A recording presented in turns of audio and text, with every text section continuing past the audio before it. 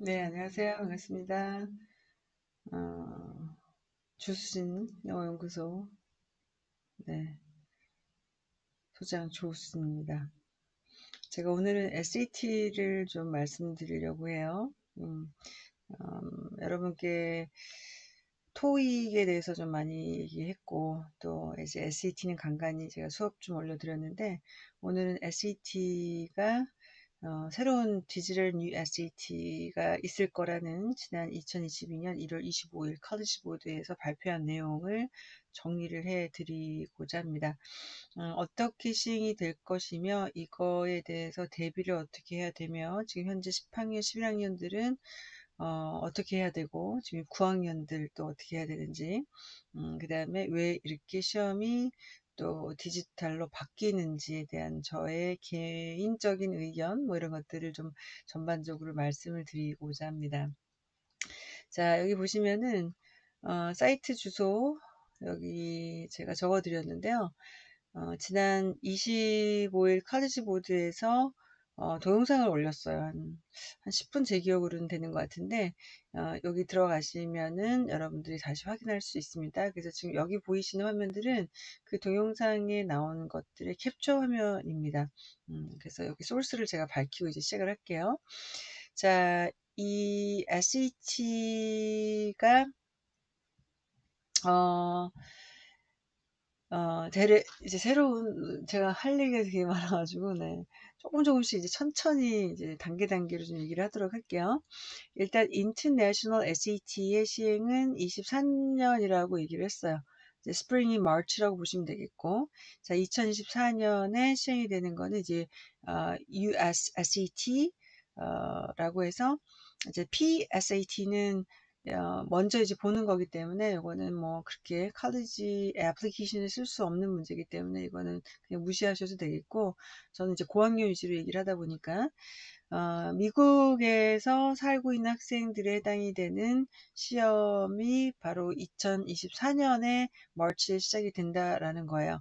어, 즉 international 어떤 student는 이제 이렇게부터 시험을 볼 수 있다라고 하는데 음, 약간 그쵸 기분 나쁘게 international 먼저 연습하고 이제 domestic으로 가려고 하는 건지 어, 그래서 일단 발표는 이렇게 됩니다. 그래서 동시에 international과 domestic을 하지 않고 international 먼저 시작했다가 1년 후에 2024년에 시험부터 시작이 된다라고 아시면 되겠습니다.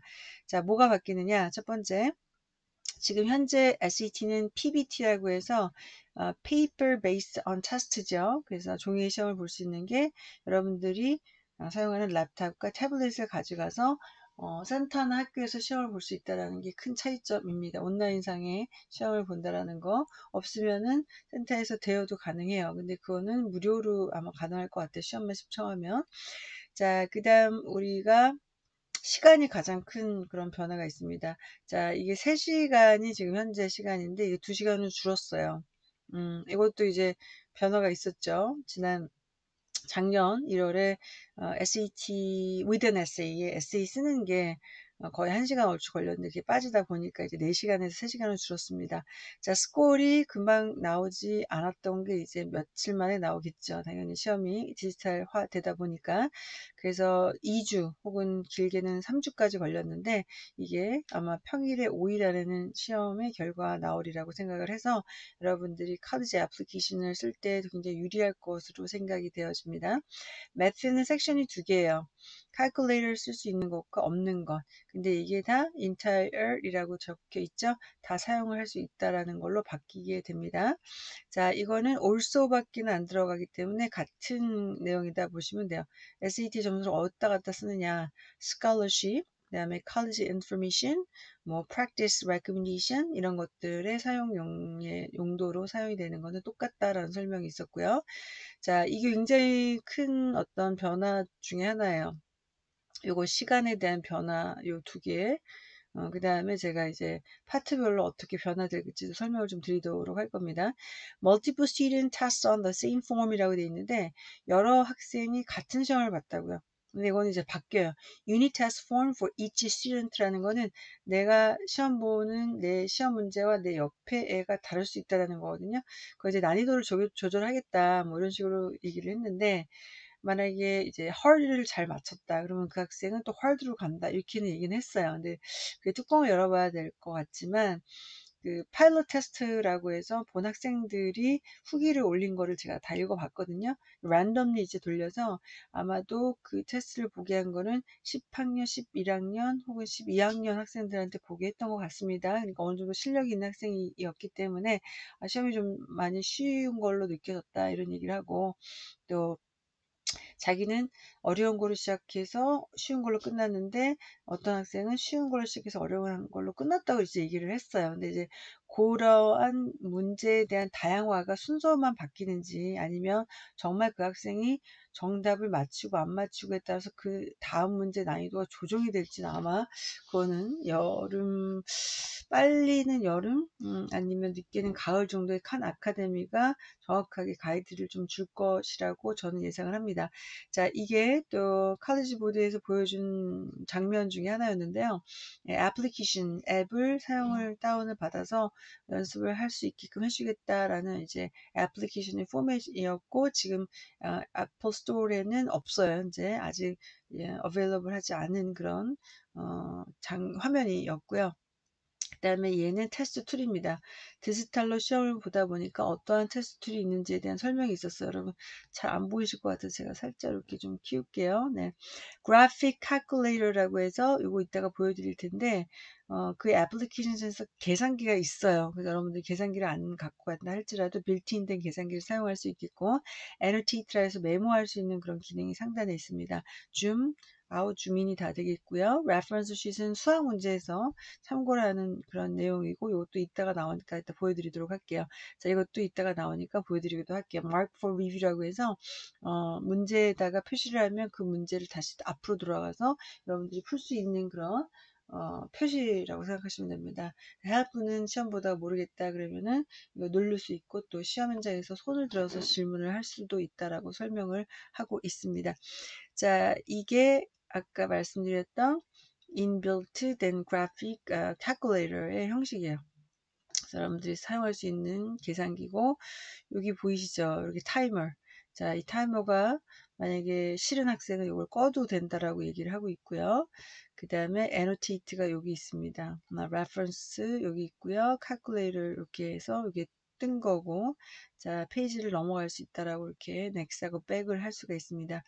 자 그 다음에 얘가 reference sheet이에요. 이거는 어, 지금은 시행이 이제 없어진 SAT2 매트 2C의 형식을 그대로 딴 것 같은데 어, 이거를 볼 정도의 실력이라면 뭐 어, 수학은 점수가 안 나온다라고 보시면 돼요. 그래서 이거는 참고를 할 필요가 없는 거고 그냥 가이드라인을 주고 이제 시작하니까 이게 들어간다라는 점은 지금 없어진 SAT2 시험의 메트드 C에서 이제 조금 어, 따온 그런 형식인 것 같아요.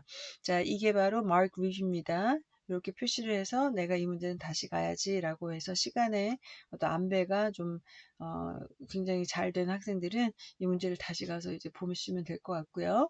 그 다음에 이게 아까 말씀드렸던 annotate의 커서 음, 버튼이니까 상단에 이렇게 있고 자 이게 칼리지 보드에서 공개한 어, Math 시험의 형식이 양식이에요. 이제 two column이라고 해서 두 쪽인데 요 버튼을 이렇게 누르면 이쪽을 크게 또 요 버튼을 누르면 이쪽만 한 화면으로 이제 보여진다라고 설명을 합니다. 자, 그다음 어, 시험이 시작이 되면은 풀 스크린으로 바뀌어요. 음, 두 쪽이든 한쪽이든 그래서 다른 어떤 창을 띄울 수 없게끔 되어 있기 때문에 추린 같은 걸 이제 방지하는 시스템 완벽하게 되어 있을 거라고 저는 이제 봅니다. 자, 그 다음 이거는 reading and writing 섹션으로서 어, 이런 이제 시작이 된다라고 해요. 음, 그 다음에 이거 아까 보셨던 화면하고 똑같은 건데 어, 수학의 이제 MCQ와 R 어, FRQ가 있죠. MCQ는 Multiple Choice Question, 어, F 어, RQ는 이제 Free Response Question이라고 해서 주관식인데 지금은 답안지에 그걸 적거든요. 어, 근데 이제 어, 답안지에 숫자를 이렇게 마블 쉿이라고 해서 동그라미를 쓰고 있는데 어, 이렇게 이제 적을 수 있는 그런 어떤 앤서 쉿의 형식도 약간 변화가 있을 겁니다. 그래서 이쪽에서 조금 더 정리를 하면서 자세하게 설명을 드리도록 하겠습니다. 점수는 똑같아요. 1600, 1600. 음, 자, 이게 섹션이 나뉘기 때문에 800, 800이 나눠질 거고, 여기서는 800의, 어, math와, 그 다음에 이제 800이 400, 400으로 나눠져요. 그래서 보통 300, 350, 마저도 이제 거의 어, 상위권 학교는 가게 되어 있는데 어, 자, 점수에 대한 건 조금 더 이따가 제가 설명을 좀 드리도록 할게요. 자, 시간에 큰 변화가 있었죠. 자, 그 다음 요걸 좀 자세하게 제가 이제 보여드리도록 할 겁니다. 자, 이거를 이제 집중을 해야 되는 학생과 안 해도 되는 학생을 일단 먼저 시작하고 갈게요. 지금 현재 10학년, 11학년이다. 걱정 안 해도 되고 PBT 그냥 연습한 것대로 계속 밀고 나가도 됩니다. 지금 현재 9학년이에요. 자, 9학년 학생들 반드시 디지털 아, US를 보게 돼 있어요. 11학년 때는. 그래서 어, PBT를 본 학생도 디지털로 봐야 되는 학생이 9학년. 자, 지금 10학년은 만약에 본인이 PBT를 준비해 왔고 11학년 때까지 PBT를 커버할 수도 있다. 만약 점수가 어떻게 나온지 궁금하다. 그럼 디지털 한번 보셔도 될 것 같은 게 이제 international student의 경우에요. domestic이 어, 2024년에 시작이 되니까 8월 시험과 11월 시험은 보통 어, 동양에 없어요. 아시아권에. 그래서 이제 비행기를 타고 미국으로 날아가는데 그러면 내년 2023년 8월 시험이든 11월 시험이든 디지털이 아니겠죠, 당연히. 그래서 PBT를 그 나라에서 볼 수 있기 때문에 그래서 제가 10학년은 PBT를 끝까지 시험을 봐서 애플리케이션 칼리지에 쓸 수 있다라고 말씀을 드린 이유가 바로 그겁니다. 자, 세션 1. 이건 여러분들 지금 공부하고 있다면 다 알고 있는 상황이어야 됩니다. 52문제, 5개 지문을 읽고 한 지문당 10개에서 11개의 문제가 있죠. 지문의 종류들이 지금 다양하고 보통 이제 첫 번째 지문과 마지막 지문이 좀 시간이 오래 걸리는 지문으로 시작과 장식 마무리를 하게 돼 있고요. 65분의 시간이 소요가 됩니다. 자, 44분이 이제 writing and language로서 grammar 부분을 많이 다루고 있고요. 이 부분도 내용의 flow나 뭐 내용을 빼도 되느냐 안 빼도 되느냐에 대한 어떤 내용의 파악에 대한 문제도 들어가고 infographic, 그래픽을 테이블과 그래프 같은 걸 읽으면서 문제를 푸는 게 총 44문제 35분의 소요가 됩니다. 그래서 여러분 목표 점수 만점은 여기 400, 여기 400, 그 다음에 여기서 800 이렇게 나오면 이제 1600 만점인데 보통 IB급의 학교에서는 350, 350 그래서 여기서 어, 몇 점이에요? 700, 그 다음에 여기서 800, 그러면 1500점 이렇게 해서 이제 안정권에 들어가는 점수가 1500인데 뭐 물론 더 나오는 학생들도 있습니다. 그래서 여러분들이 요거 준비를 지금 어떻게 하고 계신지 모르겠지만 또 제가 SAT 준비는 어떻게 해야 되는지에 대한 설명을 또 마지막 마무리에 좀 드리도록 할게요. 자, 그 다음에 디지털 new SAT는 섹션 1하고 2로 깔끔하게 줄어들어요. 시간에 대한 거 정확하게 얘기를 하긴 했는데 그 시간이 2시간으로 어, 계산은 안 되더라고요. 음, 학생들이 또 자기네가 파일럿 테스트 봤다라고 올려놓은 학생은 매스를 27문제 31분에 봤다 이런 학생도 있고 그래서 이거는 이제 칸 아카데미가 항상 S 칼리지 보드하고 협력적으로 샘플 테스트도 하고 뭐 수업도 무료로 주기 때문에 10월달 늦어도 가을 10월 달에는 어, 오픈을 할 것 같습니다. 이제 그때 봐야지 정확한 시간과 문제 수가 나오기 때문에 이건 좀 무시하셔도 될 것 같아요. 이 부분은. 자, 정확한 거는 섹션 1의 reading 파트 이거 하나와 writing and language 파트 요거를 다 묶어서 영어 파트로 이렇게 섹션 1을 만들었고요. 섹션 2는 지금 현재는 여기서도 두 개로 갈라져서 지금 섹션이 네 개로 이렇게 보고 계시는데 칼큘레이터를 쓰다 안 쓰다로 이렇게 두 개로 나눠졌어요. 근데 이거는 다 사용할 수 있는 세션 2로서 매트를 그냥 이렇게 묶었습니다. 상당히 간소화됐고 문제가 조금 쉬울 것 같다라는 생각 하지만 여기서도 변별력을 어, 보이기 위해서는 분명히 고난도 문제가 들어갈 것으로 보여집니다. 자 시행은 말씀드렸듯이 현재 9학년 학생 지금 현재라는 거 2022년 9학년 학생들은 반드시 디지털 SAT를 준비를 해야 되고요. 현재 10학년과 11학년 자 11학년은 걱정 없고 10학년은 어, 끝까지 PBT로 마무리할 수 있고 만약에 디지털 한번 보고 싶다 international 경우 그러면은 또 볼 수 있다라고 어, 생각이 됩니다. 결과가 또 금방 나오고 좀 걸리고의 차이점 아까 보여드렸고요. 자, 이거는 이제 reading 지문에 있어서의 큰 변화가 어, 디지털 시험은 한 지문에 한 문제가 보여준다고 해요. 그래서 지문이 짧아졌다라는 것이 큰 변화인데 지금 현재는 한 500단어에서 750단어 음, 라인으로 본다면 한 70라인에서 80라인 정도 되는 그런 긴 지문을 읽고 그 지문에 딸린 문제들이 여러 개 있거든요. 그거를 어떻게 한 지문으로 바꿀지는 정말 저도 궁금합니다. 자, 그 다음에 답안지에도 변화가 있어요. 어, MCQ, 어, Multiple Choice Question, 그 다음에 어, FRQ, 그 다음 주관식이 이렇게 있는데 인그리드인이라고 해서 어, 숫자에 해당되는 걸 이렇게 채워서 내가 나온 정답을 이렇게 말과하는 것, 어, 디사이멀 그 소수점까지까지 하거든요. 근데 지금 수학은 negative answer이 없어요. 지금 마이너스를 앞에 쓰는 게 없기 때문에 어, 그 답이 아예 존재하지 않아서 어, 그거는 걱정 안 했는데 이제 new 디지털 시험에서의 정답은 마이너스를 쓰는 그 칸이 있대요. 어, 지금 현재 이제 다섯 개의 디짓이 어, positive answer를 썼다면 이제 negative answer이 여섯 개의 디짓으로 늘어난다는 그런 차이점이 있습니다. 자, 장소는 동일합니다. 센터나 학교에서 봐야 되고 집에서는 안 되고요. 지금 토플은 집에서도 가능하지만 본인의 컴퓨터 태블릿 사용 가능, 현장에서 대여 가능. 자, 그 다음에 tool에 있어서는 paper based on test는 우리가 줄도 긋고 순서도 왔다 갔다. 근데 순서에 대해 왔다 갔다는 안 되는 게 reading, writing을 다 했으면 거기서 끝내야 되지 math를 갔다가 다시 reading, writing을 올 수가 없어요. 어, 보통 이제 전체를 통으로 한다면 math에 대한 문제를 먼저 풀고 시간 벌어서 reading, writing 할 텐데 중간 쉬는 시간이 있기 때문에 절대 그렇게 돌아올 수가 없습니다. 자, 아까 말씀드렸던 상단 타이머, annotation, 계산기, 하이라이터도 있을 것 같고요. 시작과 끝이 다 같아요. 지금 현재는. 근데 시작을 조금 늦게 한 학생은 늦게 끝날 수 있고 빨리 한 학생은 또 빨리 끝날 수 있다라고 합니다. 쉬는 시간 역시 다 학생들마다 달라서 이게 약간의 distract이 되는 문제가 또 발생이 될 것 같긴 해요. 또 지켜봐야 될 것 같고요. 자, 이거부터는 제 약간 견해와 공부 방법들 기타 등등을 좀 설명을 드리고자 합니다. 어, 현재 10학년인 학생 2020 7월 4일 시험을 꼭 좀 보시고요. 그 다음 미국에 가서 시험을 보고자 하는 학생은 8월달 시험까지 가능합니다. 자 시험 마감은 신청이 5월 5일에 마감이 되고 25일까지는 변경 가능 레이피를 내면 또 시험 신청이 가능합니다. 준비가 되는 학생은 시험을 좀 보셔야 된다라고 생각을 해요. 보통 이제 영어가 어느 정도 되는 학생은 스타트를 1450으로 시작을 하느냐, 1480으로 시작을 하느냐에 따라서 그 다음 시험이 마지막 시험이냐, 아니면 다다음 시험이 마지막 시험이냐가 판가름이 나기 때문에 지금 현재 10학년은 이번 여름방학을 반드시 SAT를 해야 되는 시간으로 잡으셔야 됩니다. IB 학교라 할지라도.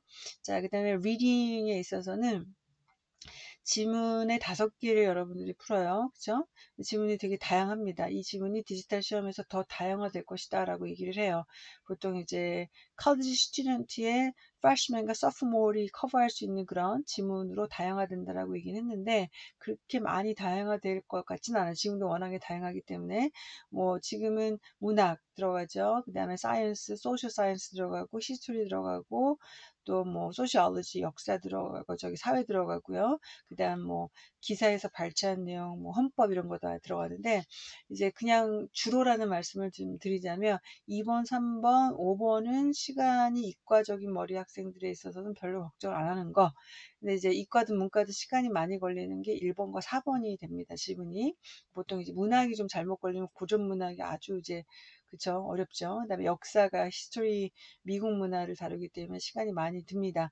그래서 보통 지금 현재 리딩을 PBT를 보는 학생들 당연히 PPT를 보고 있지만 돌아가면서 풀었어요. 이제 바꿔서 먼저 science 풀고 그다음에 문학 마지막 아니면 역사를 마지막 이렇게 했었다고요. 근데 이게 이제 디지털로 바뀌면서 바로 어, 이 문제를 돌아다닐 수 있는지 아니면 내가 순서대로 풀고 마킹을 한 상태에서 다시 앞 문제를 올지는 그건 전 시스템상에서는 좀 봐야 될 것 같습니다.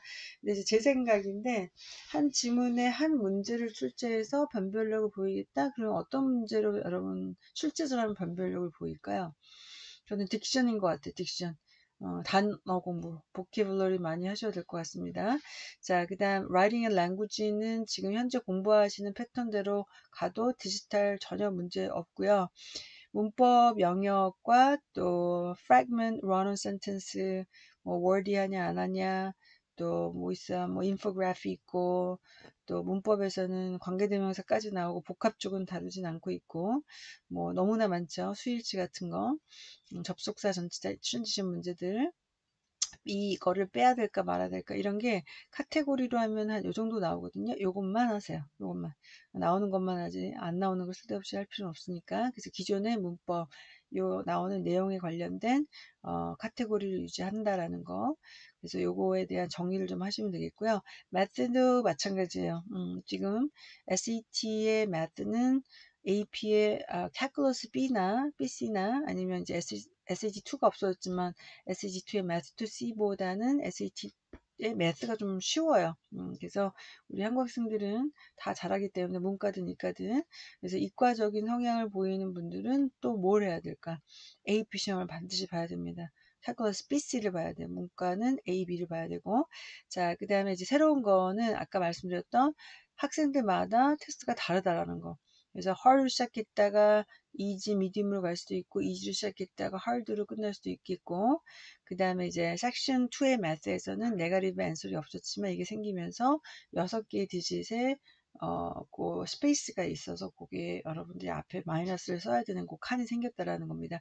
자, tool에 대한 설명 기타 등등 Khan Academy의 이 사이트를 보시면은 이 2022년 10월에 이게 테스트가 공개될 것 같아요. 네, 아까 설명드렸던 칼럼의 부분도 풀스크린으로 바뀌니까 다른 창을 못 띄우고 쉬는 시간은 자동으로 10분이 지나면 스타트가 됩니다. 그래서 여러분 쉬는 시간을 연장하거나 그렇게 할 수 없다라는 거 명심하시길 바라겠고요. 자, 여기서는 제가 이제 그냥 설명을 좀 드리고자 하는 게 지금 IB를 하시는 분이 있어요. International Baccalaureate이라고 해서 이거 스위스의 IBO 기관이 있고 그 다음에 이제 음, AP를 하는 학교가 있습니다. 근데 이게 어, 카, 커리큘럼에 들어가는 학교가 있고요. 커리큘럼에 들어가지 않는 학교가 있어요. 그래서 AP를 하는데 어, 뭐 이제 언어 반에 들어갔다 그러면은 그 과목만 이수해도 AP 인정이 있는데 AP가 각 커리큘럼이 없다면 이거는 반드시 시험을 따로 보셔야 됩니다. 1년에 한 번밖에 없고 SAT가 주관하는 시험을 주관하는 칼리지 모델에서도 역시 AP를 보기 때문에 자, 그 다음에 시험이 SAT가 이렇게 있고요. 그쵸? 이거에 대한 얘기를 좀 잠깐 어, 할게요. 자, IB 학교 지금 제가 있는 스웨덴 IB 학교고요. 어, 유럽 학교들이 보통 IB를 하고 있고 이 IB의 장단점이 있습니다. 여섯 과목의 점수를 받아야 돼요. 음, 그게 이제 7777이 만점인데 어, 이제 TOK하고 뭐 익센드 에세이하고 뭐 봉사활동까지 다 해서 3점이 추가되면 45점이 만점입니다. 근데 이게 저는 뭐 진짜 할 얘기가 너무 많은데 제가 조금 간단하게 할게요. IB 하는 학생들 선생님 SAT 학교에서 보지 말라 했는데 당연히 학교에서 그렇게 얘기를 하죠. 왜냐면 어, 뺏기는 것 같은 느낌이니까 IB를 하는 게 맞다라는 생각을 하는데 이 IB는 11학년과 12 DP 과정이기 때문에 어, 여기 학년에서의 과목의 이수 시간 그 다음에 조금 안 좋은 게 5월 달에 final을 보고 그 다음에 6월 달에 졸업하고 졸업하고 나서 7월 달에 final score가 나온다고요. 그러면 프릭 스코어가 여기 있어요. 예상 점수. 이걸 갖고 apply를 해야 돼요. 카드 application에 막 뿌려. 그러면은 최종 점수가 안 나온 상태에서 뭘 받을까? 음, 컨디셔널 어퍼를 받습니다. 그래서 최종 점수를 받아보고 우리가 너를 학교 주겠다, 안 주겠다. 그래서 마음이 또 어때? 기다려야 돼, 기다려야 돼. 만약에 이렇게 기다려야 되는 학생들이 이 점수 여기 들어가고 이거 점수 들어간다. 그럼 어떻게 될까? 자, 훨씬 유리합니다. 정말 훨씬.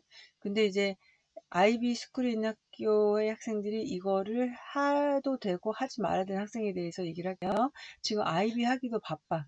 7점도 안 나와요. 지금 내신에서 막 5점, 4점을 맴돌고 있어. 절대 하면 안 돼요. 왜냐하면 내신이 중요하기 때문에. 자, 아이비 하고 있는데 괜찮아 하고 있고 그 다음에 이과에 대한 성향을 좀 더 나는 더 보이고 싶다. 내가 뭐 바이올로지를 하는데 biology가 AP에도 있고요. 그죠? 이제 SAT2가 없어졌기 때문에 거기는 이제 더 이상 없지만 내가 biology 여기 6점 받을 것 같아. final score를. AP biology가 5점 나왔어. 이미 받아놨어요. 자, 6점 나와도 괜찮아요. 왜냐면 얘가 내가 잘하고 있다는 거 알려주기 때문에 그래요. AP biology하고 IB biology 비교한다면 난이도는 거의 똑같습니다. 수학 얘기할까요? 자, 수학의 IB에 여기에 이제 HL 레벨에 해당되는 매트 2와 그 다음에 AP에서는 calculus BC가 이제 여기 이과 성향을 보이는 수학이거든요. 자, 얘가 조금 더 어렵다라는 말이 좀 있어요. 근데 이것도 만만치가 않습니다. 그래서 이거를 잘하는 학생이 이걸 시험을 본다고 안 나올까? 이걸 잘하는 학생이 이걸 본다고 7점이 안 나올까? 나오겠지. 그쵸? 그래서 요거 이과 성향을 보여야 된다는 학생은 두 개를 다 시험을 봐야 됩니다. 자, 왜냐하면 분수를 받아놔서 플레이 카드지 애플리케이션에서 먼저 이제 어플을 받아놓는 게 유리하기 때문에 그래요. 자, 그 다음에 SAT 얘기를 할게요. 지금 10학년 기준으로 해서 음, PBT. 자, 어, 새로 바뀌는 시험 안 걱정해도 돼요. 그냥 PPT로 계속 끝까지 가서 점수 만들어 놔야 되는데 어, 제가 이렇게 얘기할게요. 지금 영어를 어느 정도 하는 학생들 자 6개월에 1500 끊을 수 있어요. 자 만약 6개월에 1480 나왔다 그러면은 11학년 때 한번 보면 1500이 슈퍼스코어로 만들 수가 있어요. 여러분 슈퍼스코어는 그 영역마다 네 가지 섹션마다 내가 좋은 점수들을 합쳐서 낼 수 있는 게 스포츠 스코어입니다. 싱글 스코어를 원하는 학교가 있어요. 보통 이제 UC 버클리나 UC 계열 학교가 그런데 여러분이 어, 미국 대학에 대한 전문이 제가 좀 있다 보니까 그 다음에 동양 쪽하고 뭐 홍콩대나 싱가폴 뭐 그 다음에 한국대까지 좀 음, 좀 하고 있긴 한데 이제 그 어, 두 개를 써야 돼요. 어, 커먼 앱하고 UC 앱을. 근데 Common App에서는 보통 이제 super score이 들어가요. 근데 UC 앱에서는 싱글 스콜도 쓰라고 합니다. 그래서 이 두 개를 다 만들어 놔야 되기 때문에 이제 SAT는 여러분들이 11학년 마지막까지 점수를 만드는 게 맞고요. 자, 토플 얘기도 할까요? 자, 토플 따로 해야 됩니까? 라고 질문을 하는데 SAT가 워낙에 난이도가 있다 보니까 SAT를 하다 보면 토플이 점점 올라가 있어요. 그래서 얘는 많이 봐도 상관없습니다. 기록에 안 남아요. 그 다음에 얘도 스포츠골 쓸 수가 있어요. 자, 이거는 기록에 남고 얘도 기록에 남아요. 똑같은 과목을 두세 번 봤다. 그래서 5점 나왔다. 별 의미 없습니다. 한 번에 5점 그냥 딱 만들어서 내는 게 좋아요. RCT 많이 보는 거, 뭐 점수가 1520이 나올 때까지 많이 봤다. 그건 좋습니다. 근데 계속 1500점에서 어, 400점에서 왜, 왜 머무르는데 계속 시험을 막 다섯 번, 여섯 번 보고 있어. 자, 이거 별로 강추하지 않아요. 더 마이너스 요소가 됩니다. 안 되는 녀석이구나 라고 어떤 이미지를 주기 때문에 그래요. 자 그래서 여러분들 잘하는 학생들 기준으로 설명을 드릴게요. 어, SET, IB 하는 학생도 해야 되네요. 무조건. 자, 3년 특례, 12년 특례 이거 다 하고 있고 이거 하는 학생들 다 통과됐습니다. 그 다음에 이 디지털 어 제가 막 낙서를 것 같은데 디지털 시험이 되면서 어, 발표했던 그들도 어떤 얘기 했냐면 천, 어, 천, 어, 170만 명의 학생들이 어, college 애플리케이션에서 SAT하고 AP 점수를 냈대요. 근데 이제 어, 2020에 어, 처음으로 그 온라인에서 AP를 시험을 봤거든요. 엄청나게 complain과 막 대혼란이 있었습니다. 시험 취소되고 보던 학생이 처음이니까 막 다 오류가 나서 끊어지고 뭐 다시 재신청하고 이런 과정이 있어서 너무나 complain이 많아가지고 이 College Board에서 optional을 바꾸자. 대학이 다 어떻게 이제 쇼부를 본 거예요. 대학 쪽에 발표를 했습니다. 우리는 SAT 옵셔널이다. 너 꼭 안 내도 된다. 맨날 필수였는데 근데 170만 명이 다 냈어요. 어떻게든 시험을 봐서. 자, 그 학생들이 됐겠지. 않는 애들 떨어졌겠죠. 실제로 제가 주변에 있는 학생들 다 봤기 때문에 음, 이게 절대적으로 리카먼트가 있다 할지라도 상대적으로 내가 누구랑 결혼인지 그게 문제가 있거든요. 내 내가 1번이고 내그 다음 애가 2번인데 2번 애가 다 했어요. SAT, AP. 그럼 걔가 붙겠죠. 이게 이제 여러분들이 경쟁 사회라는 겁니다. 그래서 남이 안 하면 나도 안 해도 되겠지만 남이 하기 때문에 내가 안 하고 있던 거, 어, 안 되겠네 라고 생각해서 빨리 준비를 하셔야 되는 게 맞고 다시 말씀드리지만 IB 점수가 좋으시면 SAT, AP 하셔야 되고 3특, 12특 다 하셔야 되는 거 무조건입니다. 무조건. 자, 그 다음에 토플 시험은 어, 마지막에 보세요. 어, 이거는 그냥 공부하다가 나중에 이만큼 성장했다라는 거를 점수로 알게 될 겁니다. 자, 여기까지 제가 SAT, AP, 뭐 IB 학교, 기타 어떻게 공부하는지 설명을 드렸고요. 어, 일단은 막연히 공부하시는 것보다는 여러분들이 문제 유형을 정리를 하고 그 다음에 어떠한 파스지가 나오는지 이런 거를 일단 정리하는 게 좋아요. 음, 도움을 받으셔도 되고 전문가에게 어, 학원의 도움을 받아도 되고 그리고 그거에 대한 관련된 시험 문제를 이제 그 패턴별로 풀으세요. 그 다음에 맨 마지막 뭐냐면 기출문제. 기출문제 어떻게 구해요? 보통 이제 한 1년이면 많아야 한 3, 4회 밖에는 못 구하는데 시험을 본 학생이 나 문제 살겠습니다라고 사면 이제 카드지보드 주거든요. 그게 모아 모아서 기출문제가 된 게 이제 몇 년째 소중한 자료입니다. 거기에서만 문제들이 계속 돌아요. 지금 디지털화 된다라고 하는데 지금 나머지의 1년치 문제를 또 만들까? 저는 아니라고 봅니다. 기출문제에 대한 의존도가 좀 더 높을 것 같아요. 이건 더 굉장히 유리할 것 같은데 그렇다고 너무나 믿지 말고 기출문제에 대해서 기출문제를 먼저 달겨도 푼 학생이 있는데 그거는 별로 비춥니다.